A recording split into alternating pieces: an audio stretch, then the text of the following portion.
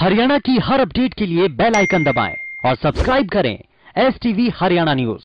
Panipat के शहरी विधायक प्रमोद विज ने प्रदेश में बढ़ते भ्रष्टाचार पर बातचीत की। उन्होंने कहा कि भ्रष्टाचार की काफ़ी शिकायतें आ रही हैं लेकिन मैं यही कहूँगा कि हमारे पदाधिकारी और कार्यकर्ताओं को संयम बनाना चाहिए। विधायक प्रमोद विज ने इस दौरान स्वच्छता जाम से हो रही लोगों को मुसीबत जैसे मुद्दों पर बातचीत की। इस समय हम हैं जो शहरी विधायक हैं प्रमोद विज जी उनके पास हैं। तो हम प्रमोद विज से सबसे पहले तो सर हरियाणा न्यूज़ पे आपका स्वागत है। धन्यवाद जितेंद्र जी बहुत बहुत धन्यवाद। जिस तरीके से अभी दो तीन दिन पहले एक घटना घटी कि उसमें पूर्व मेयर जो है एक अधिकारी का कॉलर पकड़ रहे हैं सारी बात आपके संज्ञान में। तो सर उस विषय पे आप क्या कहेंगे देखिए कोई भी प्रॉब्लम हो किसी भी शहर की हो किसी भी विभाग की हो संयम तो रखना पड़ेगा। हमारे जो अधिकारी हैं मैं इस टाइम ये बात नहीं कर रहा हूँ कि बेईमानी या रिश्वत की वो आप विषय उठाएँगे, मैं उसका भी जवाब दूँगा। लेकिन फिर भी अपनी बात रखते हुए संयम रखना चाहिए। लेकिन कई बार ऐसा होता है कि मॉब जब इकट्ठा हो जाता है तो किसी एक के काबू में नहीं रहता। और शायद उस दिन ऐसा ही हुआ। यह बड़ी दुखदायी घटना है यह कभी घटना होनी नहीं चाहिए।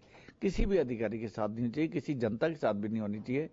तो मैं तो अपने सभी साथियों से, सभी जनता से, पानीपत वालों से ये प्रार्थना करना चाहूँगा, अपने दुख जो हैं वो साझा करिए।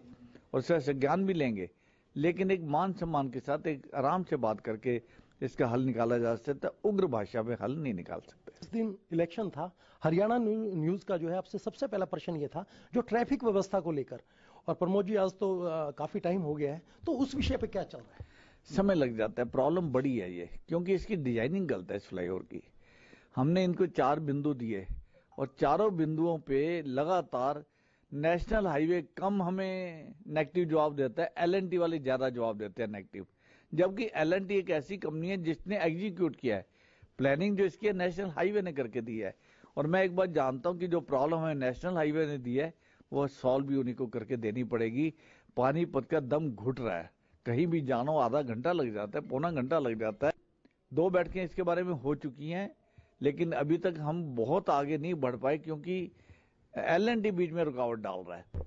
सबसे एक प्रश्न और यहाँ उठता है। नगर निगम में जिस तरीके से प्रधानमंत्री मोदी जी ने स्वच्छ मिशन को लेकर चले थे तो वहीं पानीपत में अगर मैं ऑल ओवर इंडिया की बात करूँ या हरियाणा की बात करूँ तो वो सर वो कहीं नहीं दिखता गंदगी के अलावा। देखिए पहले तो सफ़ाई की बात मैं आपको बताऊँ कि शायद आप मेरे से सहमत हो या नहीं हो मैं नहीं जानता लेकिन मैं एक बात देख रहा हूँ कि शहर में बाजारों की सफ़ाई पहले से बेहतर है रात की सफ़ाई होती है। और ये सब पार्षद और सभी लोग मानते भी हैं, लोग भी मानते हैं, बाज़ार के लोग भी मानते हैं, लेकिन हाँ कई जगह कूड़े के ढेर लगे हुए ये बात सच्चाई है, क्योंकि डंपिंग के कोई स्टेशन ही दिए गए। डंप कहाँ करना है? इसलिए जिसको जहाँ जगह मिलती है, वहाँ रख देते हैं। कभी जेबीएम कंपनी उठा लिया उठा लिया, नहीं तो जब उस पर प्रेशर पड़ता है, तब उठाते हैं। तो व्यवस्था सुचारू रूप से नहीं चल रही है। मैंने मेयर अवनीत कौर जी से अच्छी तरह इस विषय में बात की कि उनका खास ध्यान इस टाइम इस तरफ़ होना चाहिए शहर की सफ़ाई की व्यवस्था के बारे में।